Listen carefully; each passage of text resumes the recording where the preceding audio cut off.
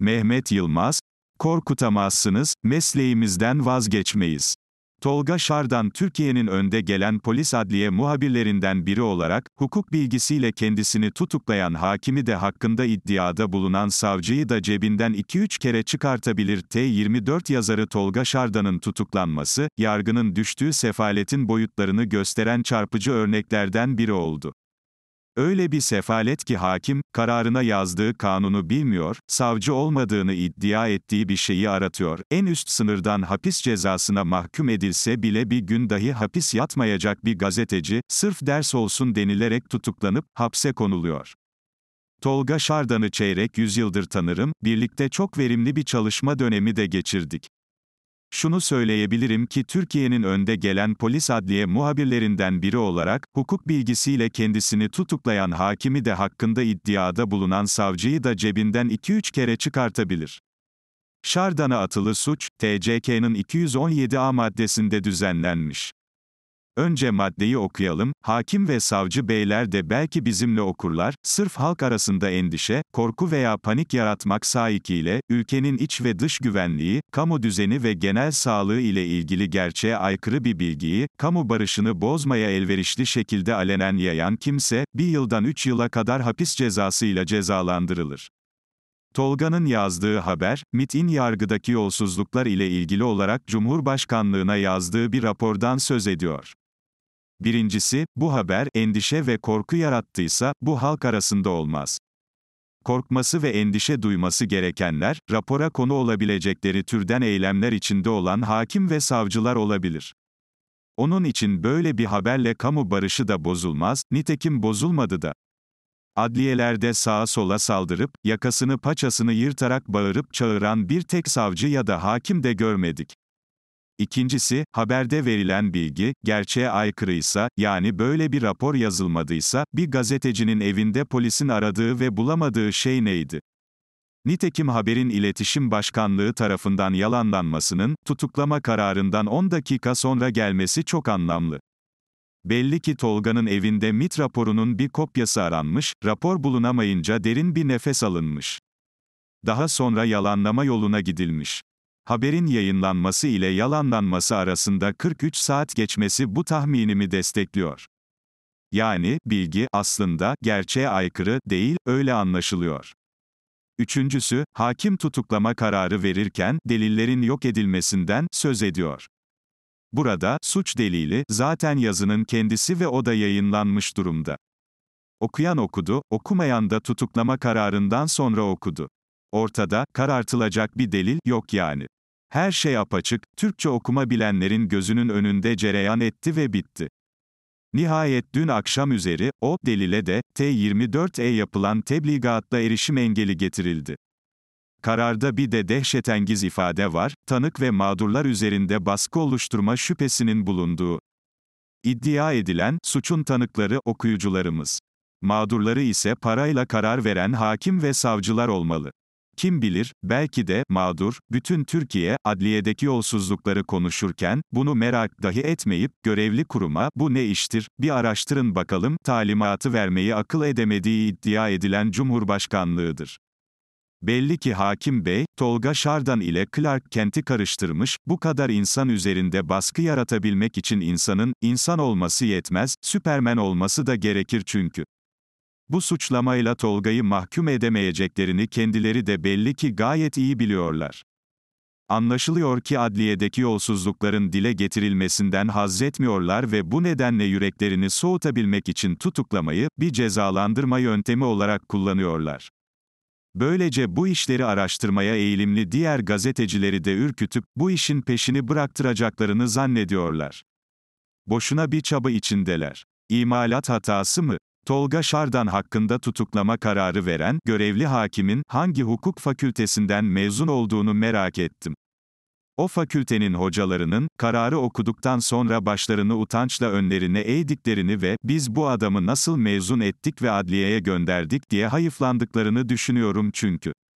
Hakim, tutuklama kararı verirken Tolga Şardan'ın suçlandığı TCK'nın 217. maddesinin tutuklanmayı gerektiren katalog suçlardan olduğunu da söylüyor. Katalog suçlar meselesi Ceza Muhakemesi Kanunu'nun 100. maddesinde düzenlenmiş. Katalog suçların varlığından kuvvetli şüphe varsa tutuklama kararı verilebiliyor. Katalog suçların sıralı tam listesi şöyle: soykırım ve insanlığa karşı suçlar, göçmen kaçakçılığı ve insan ticareti, kasten öldürme, kasten yaralama, işkence, cinsel saldırı, çocuğun cinsel istismarı, hırsızlık ve yağma, uyuşturucu veya uyarıcı madde imal ve ticareti, suç işlemek amacıyla örgüt kurma, devletin güvenliğine karşı suçlar, anayasal düzene ve bu düzenin işleyişine karşı suçlar, silah kaçakçılığı, bankalar kanununda tanımlanan zimmet, kaçakçılık kaçakçılıkla mücadele kanununda tanımlanan hapis cezasını gerektiren suçlar, kültür ve tabiat varlıklarını koruma kanununun 68 ve 74. maddelerinde tanımlanan suçlar, kasten orman yakma suçları, toplantı ve gösteri yürüyüşleri kanununun 33. maddesinde sayılan suçlar, terörle mücadele kanununun 7. maddesinin 3. fıkrasında belirtilen suçlar, kadına karşı kasten yaralama, sağlık kurum ve kuruluşlarında görev yapan personele karşı görevleri sırasında sırasında veya görevleri dolayısıyla işlenen kasten yaralama suçları. Hani bunların arasında TCK 217. madde nerede? Hakim ya kanunu bilmiyor ya okuma yazması zayıf. Kanunu bilmiyor olmasına ihtimal veremiyorum aslında. Diyelim ki bütün kanuna vakıf ve hakim değil, böyle bir karara varırken en azından açıp söz konusu maddeyi okuması gerekirdi ki okumadığı da anlaşılıyor. Ya da okudu, tam olarak anlamadı ya da tutuklama kararı vermeyi kafasına koymuştu, gerisini salladı geçti. Hakimler ve Savcılar Kurulu, bu tip hakimleri hangi amaçla bu görevlere tayin ediyor, artık anlamış olmalısınız. Hakimin, bu yolla, suç uydurma suçu, işleyip işlemediğinin takdirini de elbette HSK'ya bırakacağız ama HSK'da bağımsız karar verecek durumda değil. En iyisi bu kararı veren yargıcın, hukuk fakültesine iadesi cihetine gidilmesi. Ciddi bir imalat hatası var çünkü. Mehmet Y. Yılmaz kimdir? Mehmet Yakup Yılmaz, 1956 yılında Malatya'da doğdu.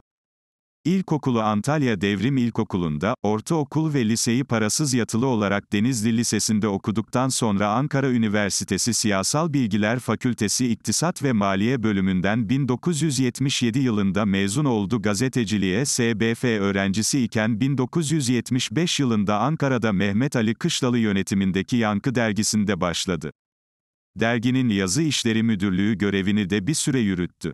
12 Eylül 1980 darbesi öncesinde Türk İş'e bağlı Yol İş Federasyonu ve YSE İş sendikalarında basın müşaviri olarak görev yaptı, sendika gazete ve dergilerini yayınladı askerlik görevini Kara Harp Okulu'nda tamamladıktan sonra İstanbul Gelişim Yayınları'nda mesleğe döndü. Gelişim Yayınlarında Erkekçe ve Bilim dergilerinin genel yayın müdürü yardımcılığı ve ardından Gelişim TV dergisi genel yayın yönetmenliği görevlerinde bulundu. 1985 yılında Hürriyet'e geçti ve Hürriyet dergi grubunu kurdu. Tempo, Blue Jean, Playman gibi dergileri yayınladı. Daha sonra dönemli yayıncılık genel müdürlüğü görevine getirildi. Ercan Arıklı ile birlikte dönemli yayıncılıkın bir numara yayıncılıka dönüşmesi sırasında genel müdürlük görevini üstlendi. Aktüel, Kozmopolitan, Penthouse, Oya gibi dergilerin kurucu genel yayın müdürü oldu. Bugüne kadar 30 o aşkın derginin kuruculuğunu yaptı. 1995 yılı başında Posta gazetesini yayınladı. Aynı yılın sonunda Fanatik gazetesini, 1996 yılı sonunda da Radikal gazetesini kurdu, genel yayın müdürlüğünü yürüttü. 2000 yılında Milliyet gazetesi genel yayın müdürlüğü görevine getirildi. Bu görevi 5,5 yıl sürdürdükten sonra Doğan Burda dergi grubu bunun CEO'luğu görevini üstlendi. 2005 yılından 2018 Eylül ayına kadar Hürriyet gazetesinde köşe yazarlığı yaptı. Ekim 2018'den itibaren T24'te yazmaya başladı. Gazete köşe yazılarından derlenen, Kırmızıyı seçtim, Aşk Mavi'nin altındaydı, Benden selam söyleyin bütün aşklarıma, Aşktan sonra hayat var mı, Şaşırma duygumu kaybettim, Hükümsüzdür isimli kitapları yayımlandı. Aşk her şeyi affeder mi isimli uzun hikayesi de kitap olarak yayınlandı. Türkiye medyasında en çok yayın başlatan gazeteci olan Mehmet Y. Yılmaz, güncel politik gelişmelerin yanı sıra, deneme tarzındaki yazıları ile futbol üzerine yaptığı yorumlarıyla da biliniyor.